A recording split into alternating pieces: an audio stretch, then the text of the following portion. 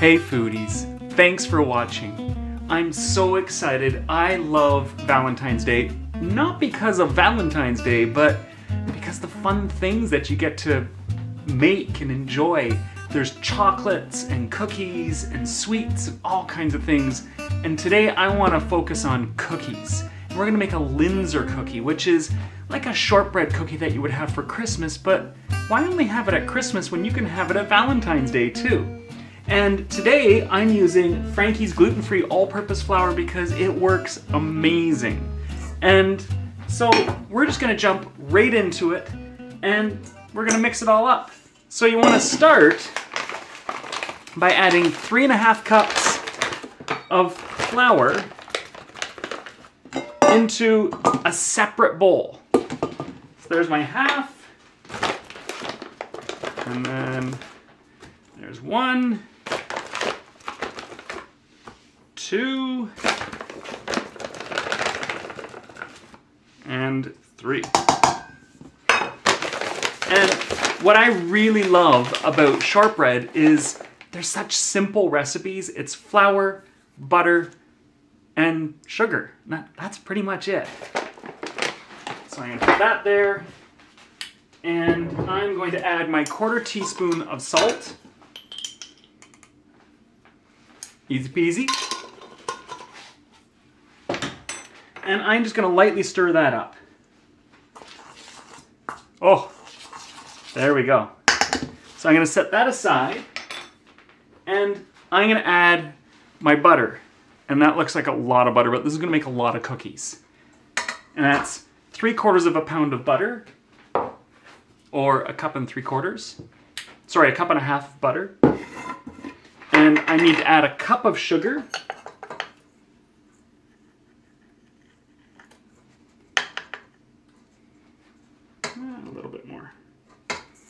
Okay. And I'm gonna mix the butter up and the sugar, just like you would a regular cookie, until it's all combined. The butter I have is at room temperature.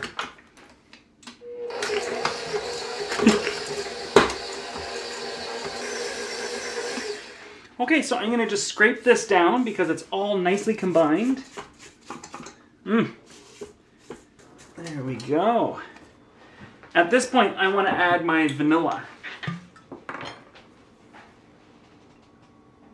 And it's just a teaspoon of vanilla extract. And we're going to combine that.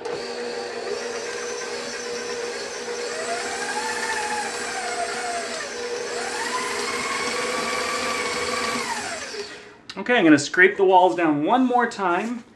And then I'm to slow I'm to add in the flour. I'm going to add about half now and then mix it, and then I'm to add in the other half. Okay, it's just starting to come together. I'm to add the other half of my flour, and I'm to mix it on low speed just until it all comes together.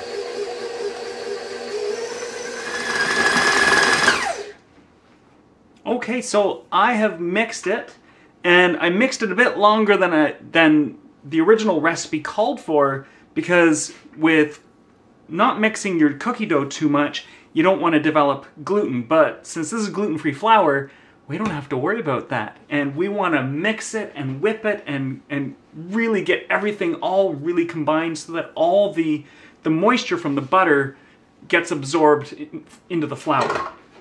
And, and since you don't have to worry about this getting tough, there's no real risk of running the mixer a bit longer. Okay, look at that. It looks really nice. So I'm gonna put a little bit of flour on my counter. And I'm just gonna scrape this and dump it out onto the surface. Oh, look at that. That looks great. Get off as much as I can There we go. And then we want to just make sure it's nicely combined. A bit more flour on the top. It feels amazing. That is great. Okay, so I need some parchment paper.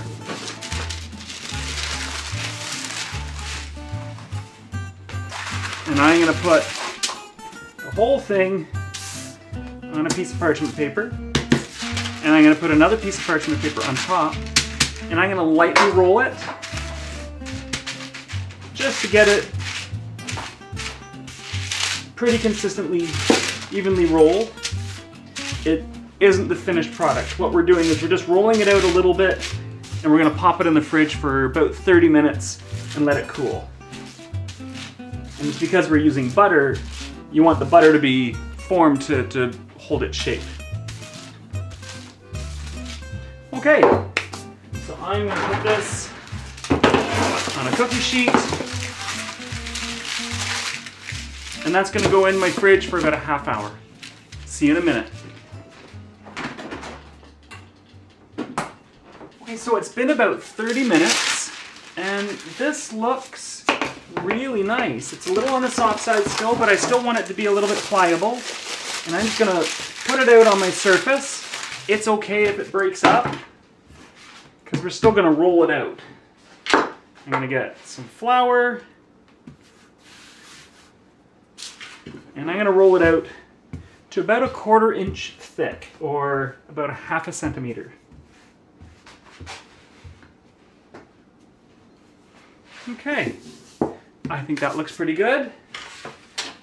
And you want to take a large round cutter, and we're going to cut out rounds, which are the bottom and the top of each cookie, because a Linzer cookie has a bottom cookie and a top cookie, like an Oreo cookie or, or a, a Jammy Dodger, and then the top part of the cookie has some kind of a cutout.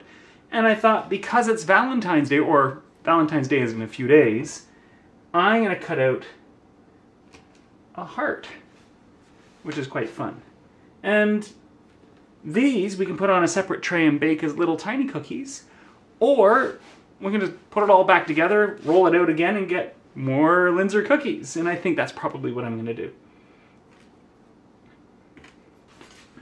Okay, and so I've cut all these out.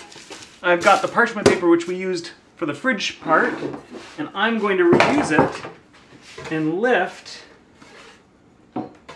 my cookies onto my cookie sheet.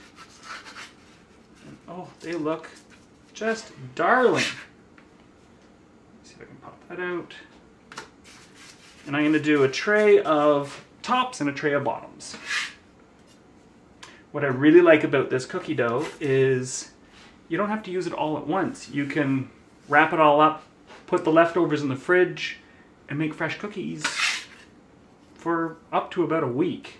Because this dough will last, oh, that one broke. This dough will last for up to a week in the fridge, I would presume, because it's just butter and sugar. There's no egg, there's, there's really nothing in it to go bad. And if you want to use a dairy alternative to butter, by all means, go for it. You can you can make these vegan if you want. Okay, there we go. Look at these. So I'm going to put these into a preheated oven at 350 degrees Fahrenheit for 20 to 25 minutes or until they're just golden in color. And then I'm going to pull them out, let them cool, and we're going to do the last bit, and then we're going to try them. See you in a minute.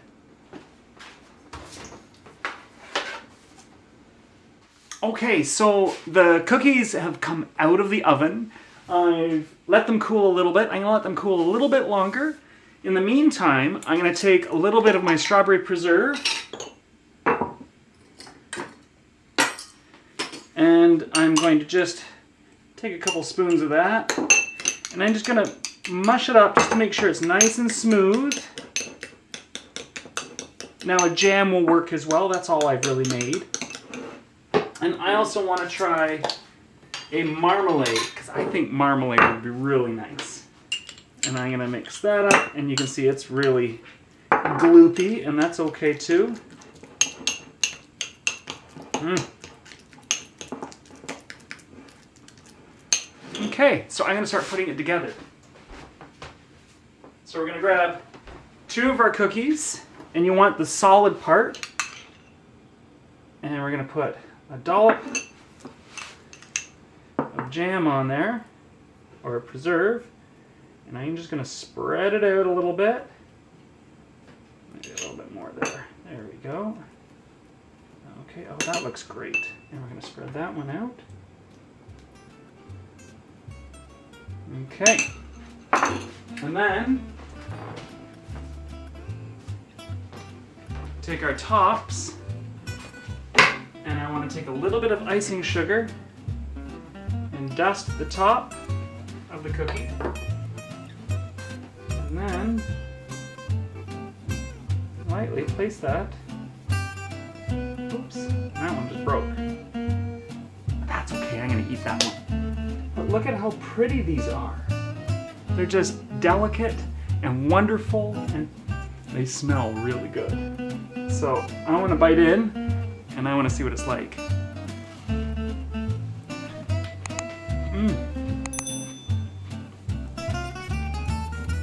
There's so much air and lightness. They're very delicate. I think I need a cup of tea for this because it's so nice. I ended up not needing to bake mine for a full 20 minutes, even though it said 20 to 25. Mine was closer to 15. So do keep an eye on the cookies. Let me know how long you bake your cookies for in the comments below. Thanks for watching.